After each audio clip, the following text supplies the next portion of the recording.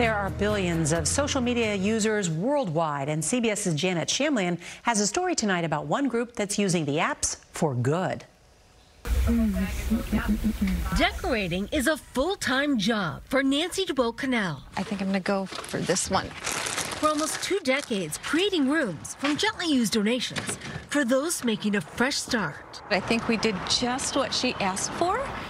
Project Home Again was growing slowly. Now it's decor time. Until the Massachusetts woman says she started posting on social media. Set of full flat sheets. Thank you so much. How much of a difference has TikTok made? Now we're giving away brand new bedding to basically almost every single client, and it, you can't put a value on that. It's so uplifting to them, and it just gives them so much dignity. Hundreds of boxes arriving each month. Generosity as far away as Australia.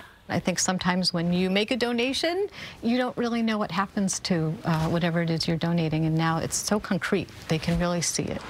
Social service agencies refer clients like Francesca Benitez. Oh, I love it. I'm so grateful. There's now a warehouse full of essentials like appliances and bedding. People are looking for good, and I think it makes people feel good. Harnessing the power of social media, turning houses into homes. Janet Shamlian, CBS News, Andover, Massachusetts.